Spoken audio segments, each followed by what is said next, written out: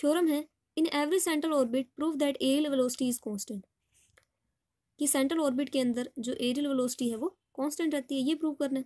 Second the linear velocity is inversely proportional to the perpendicular distance from the centre upon the tangent to the path consider कर लेते हैं कि A P Q ये एक आपको central orbit दे रखा है, एक प्लेन कर्व दे रखा है, और इस कर्व के लोग जो पार्टिकल है वो मूव कर रहे हैं। किसी टाइम टी पर पार्टिकल की पोजीशन है, वो पी है और इसके कोऑर्डिनेट्स आर और थीटा है।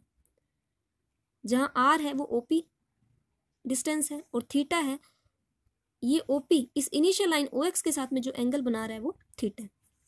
और किसी time T plus delta T पर इस पार्टिकल की जो पोजीशन है, वो क्यू है। और इस क्यू के कोऑर्डिनेट्स हैं आर प्लस डेल्टा आर और थीटा प्लस डेल्टा थीटा जहाँ ओ क्यू है, वो आर प्लस डेल्टा आर है। और ये O Q? Initial line O X के साथ में जो एंगल बना रही है, वो है थीटा प्लस डेल्टा थीटा तो ये एंगल रह जाएगा डेल्टा थीटा ए से ए पोजीशन से पार्टिकल को इस पी पोजीशन तक पहुँचने में टी टाइम लगा और ए पोजीशन से पार्टिकल को इस क्यू पॉइंट तक पहुँचने में T plus delta T time लगा. तो पी से क्यू तक पहुँचने में पार्टिकल को डेल्टा टी टाइम लगा होगा. तो ये ओ पी है, वो आर के इक्वल है ओ क्यू है आर प्लस डेल्टा आर के इक्वल है. ये जो पी क्यू कर्व की जो लेंथ है वो हम कंसीडर कर लेते हैं डेल्टा एस और ये P Q O Q angle है वो डेल्टा थीटा सबसे पहले हम एरियल वेलोसिटी फाइंड आउट करते हैं। एरियल वेलोसिटी इक्वल होती है rate of change of sectorial area mean इस सेक्टोरियल एरिया मतलब पी से पार्टिकल मूव कर रहा है और मूव करके क्यू पॉइंट तक पहुँचा तो इसने जो सेक्टर फॉलो किया है इस सेक्टर के एरिया के अंदर टाइम के साथ में कितना चेंज आ रहा है, वो एरियल वेलोसिटी होगी। तो हम लिख सकते हैं, limit P tends to Q कि जैसे जैसे पी है वो क्यू को अप्रोच कर रहा है तो इसके सेक्टोरल एरिया में टाइम के साथ में डेल्टा टी टाइम में, क्योंकि पी से क्यू तक पहुँचने में डेल्टा टी टाइम लग रहा है। तो इस सेक्टर के एरिया के अंदर, इस डेल्टा टी टाइम के अंदर कितना चेंज आ रहा है, वो एरियल वेलोसिटी हो जाएगी। इस सेक्टर ओ पी क्यू का जो एरिया है वो इक्वल होगा। इस ट्राइंगल के एरिया के ट्राइंगल ओ पी क्यू। हम पी और क्यू को ज्वाइन कर देते हैं तो ये ट्राइंगल ओ पी क्यू का एरिया और इस सेक्टर ओ पी क्यू का एरिया ऑलमोस्ट सेम होंगे। इस ट्राइंगल ओ पी क्यू का एरिया इक्वल होगा one by two. First side O P into में second side O Q into में sine of angle between O P and O Q.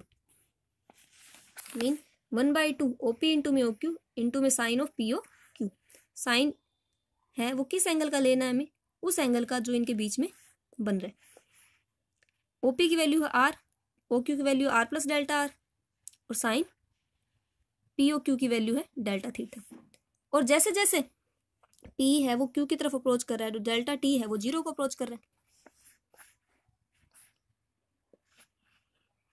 अब हमें पता है कि साइन डेल्टा थीटा इसकी जब एक्सपेंशन करते हैं साइन एक्स की एक्सपेंशन होती है X minus X cube upon में थ्री फैक्टोरियल प्लस एक्स की पावर फाइव अपोन में five factorial and so on उस एक्स की जगह डेल्टा थीटा रख देते हैं। हमें पता है डेल्टा थीटा जो एंगल है, वो बहुत ज़्यादा स्मॉल है, जिसकी वजह से इनकी cube power five power seven करेंगे तो और भी ज़्यादा स्मॉल आएगी। तो हम इसकी हायर पावर को क्या कर देते हैं नेग्लेक्ट कर देते हैं। तो sine delta theta almost equal होगा डेल्टा थीटा की। तो साइन डेल्टा थीटा की वैल्यू पुट कर दी delta theta one by two तो कॉन्स्टेंट है, उसे तो बाहर ले लिया हमने। अब डेल्टा टी को हम ज़ीरो पे अप्रोच करवाएँगे। जब डेल्टा टी ज़ीरो को अप्रोच करता है तो डेल्टा थीटा पोन में डेल्टा टी इक्वल होगा डी थीटा पोन में डी टी के और आर इंटू में R plus delta R equal होगा आर स्क्वायर के। वन बाई टू इंटू में आर स्क्वायर इंटू में डी थीटा पोन में डी टी।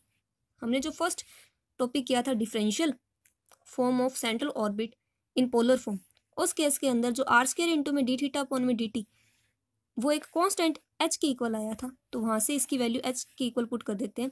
तो सेक्टर सॉरी जो एरियर वेलोसिटी है वो इक्वल आ गई एच बाई टू के, जो कि कांस्टेंट है। तो हम कह सकते हैं कि एक सेंट्रल ऑर्बिट के अंदर जो एरियर वेलोसिटी है, वो कांस्टेंट रहेगी। सेकंड